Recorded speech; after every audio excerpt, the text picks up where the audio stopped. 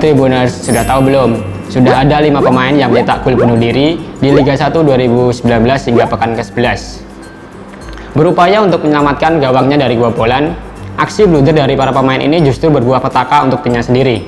Tercatat sudah ada lima gol bunuh diri di Liga 1 2019 hingga pekan ke-11. Yang pertama ada Hamka Hamzah. Bek dari Arema FC menjadi pemain pertama yang mencetak gol bunuh diri di Liga 1 2019.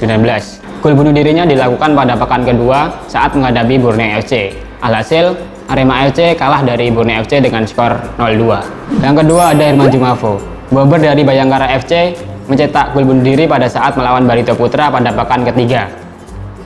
Bermaksud untuk memberikan bola ke penjaga gawang, namun, sundulan dari Herman Jumafo justru bersarang ke gawangnya sendiri dan membuahkan hasil untuk Barito Putra. Beruntung, The Guardian tetap bisa memenangkan pertandingan dengan skor 4-2. Yang ketiga ada Benny Wahyudi. Pemain sayap dari PSM Makassar menjadi pemain ketiga yang mencetak gol bunuh diri di Liga 1 2019. Gol bunuh dirinya dicetak pada saat melawan mantan timnya Madura United pada pekan ke-6. Yang keempat ada Safrul Mustafa. Back dari Badak Lampung FC menceploskan bola ke gawang timnya sendiri saat menghadapi Barito Putra. Akibat gol bunuh dirinya tersebut, Badak Lampung FC gagal meraih kemenangan dan hanya berakhir dengan hasil imbang 3-3. Yang kelima ada Ashraf Gufron. Back dari PSS Sleman menjadi pemain kelima yang mencetak gol bunuh diri di Liga 1 2019.